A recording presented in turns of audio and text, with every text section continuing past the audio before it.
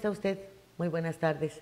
Bueno, pues ya es viernes, fin de semana, nuestra charla de hoy, pues déjeme decirle que las historias de terror, pues ya no solamente se ven en acciones relacionadas con el crimen, pues ya también nos las recetan, aunque sin tanta promoción, nuestros queridísimos políticos. Las últimas horas y días aquí en Quintana Roo, en Cancún, en el lugar recientemente eh, promocionado allá en Dubái, es decir, justo en donde pues, hay una gran competencia por la recepción de turismo, han sido verdaderamente, excepcionalmente fatales. Van saliendo a la luz las especialidades de la delincuencia. Fíjese que ahora pues ya tenemos a la banda de los Rolex. Han robado en las pasadas poco más de 72 horas, cinco de ellos. Uno, por cierto, pues ya sin rubores, sin temores, sin respeto a las creencias, en las afueras de la iglesia conocida como de la Virgen de Satanudos. Obviamente los portadores de semejantes piezas tienen línea directa con el gobernador y con Mara Lezama, porque pues todos los Rolex fueron apartados de sus dueños en Cancún y a ambos les aseguran, pues han dado instrucciones y de ser así de atender su caso porque pues es lo único que saben hacer, pasar el recado. Y ellos creen que dar una orden, la cual pasa olímpicamente por el arco del triunfo de los policías, de los investigadores, de los jefazos y hasta el fiscal, pues va a resolver el delito.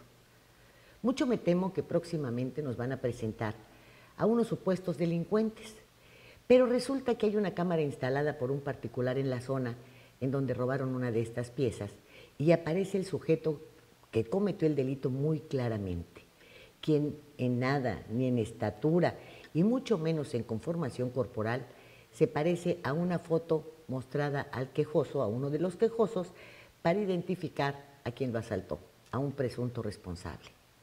Así que siguen esas célebres y poderosas instrucciones de apúrale, ándale, atrápate a alguno de estos eh, malandros les cargamos los Rolex y háganlo pronto porque pues el gobernador lo ordenó y ya la alcaldesa pues anda otra vez gritando toda nerviosa. Y pues ya sabemos que a la cárcel van a parar quienes pues, nada tuvieron que ver en, en un asunto de estos y los profesionales pues eso seguirán robando. Esta mañana en una cremería pequeña perteneciente a un local del mercado ubicado sobre la avenida Nader, a unos metros del Palacio Municipal, y a otros de la Delegación de Relaciones Exteriores, pues balearon a dos sujetos, quedaron tendidos a la entrada. Uno murió, el otro pues permaneció en el piso gravemente herido. Fíjese usted, apenas iniciaba el día y ya estaba registrándose otra matanza, obviamente realizada por sujeto o sujetos desconocidos, ¿verdad? Y para variar, pues tampoco las autoridades saben el móvil aunque seguramente este último, es decir, el móvil, versará sobre relaciones con la mafia o con el crimen organizado, argumentos lanzados por la autoridad para sacudirse el seguimiento de las investigaciones. Una vez expresado esto del crimen y de la mafia y todo esto, parece que los expedientes se cierran y hasta ahora no se sabe de ninguno que hubiese sido debidamente aclarado. ¿Eh? Estos crímenes se quedan así y las víctimas siguen sufriendo y tampoco tienen atención. Y por desgracia, fíjese que no paramos en inseguridad, en apagones, en abusos, en fraudes, en sargazo. Esa alga que ha puesto de cabeza a don Carlos Manuel Joaquín González, a quien, si bien entiende, pues le ha sido negado el respaldo económico por él solicitado para su combate. Y para más muestras, el propio gobierno federal, los que antes aseguraron se conformaría una comisión presidencial para solucionar este problema y ofrecieron además aplicar 2.500 millones de pesos. Para ello, aseguraron ayer que no contaban ni con mil millones para ser destinados a la plaga existente en Quintana Roo. Por si algún elemento faltara, quienes hacen encuestas y sacan a la luz posiciones ocupadas por los países y ciudades turísticos, alertan ante la disminución, la sensible disminución de visitantes en Quintana Roo y agregan de manera muy seria, este turismo está viajando a otros puntos del Caribe como Dominicana y Cuba. Y no es nada difícil relacionar la mala fama que va creándose día con día, inmerecidamente para quienes habitan en su mayoría esta entidad, cuando se sabe de grandes fraudes inmobiliarios, de ventas irregulares de tierras, de abusos en el cobro de todo tipo de impuestos y licencias de funcionamiento, de una corrupción galopante y obviamente de la colusión de las autoridades en todas, en todas estas prácticas. Mire usted, un ejemplo claro y directo lo encontramos en Tajamar, justo ahí.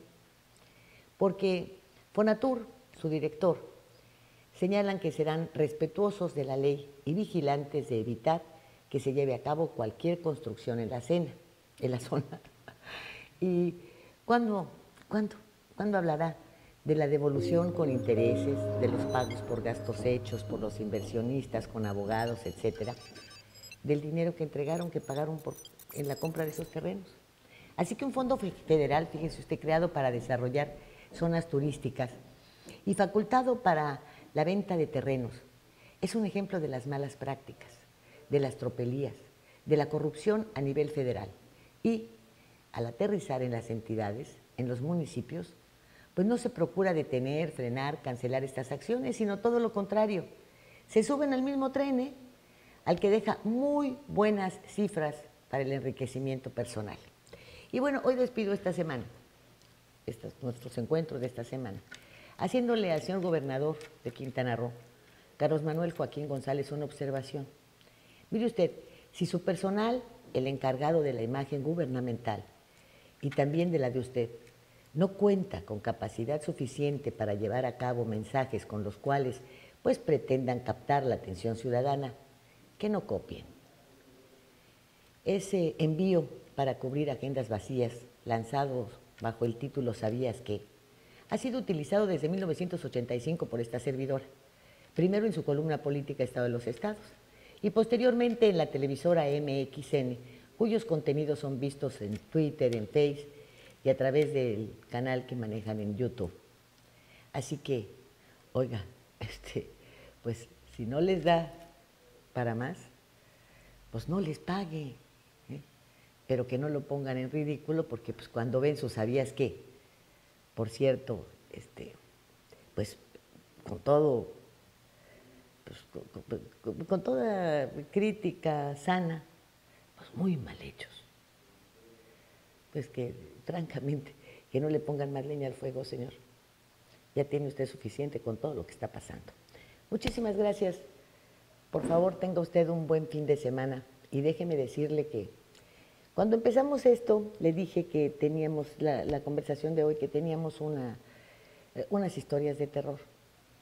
Déjeme contarle una personal. ¿Sabe con quién? Con gobernadores del estado de Hidalgo. No me lo va usted a creer. Bueno, con exgobernadores, con Murillo Cara,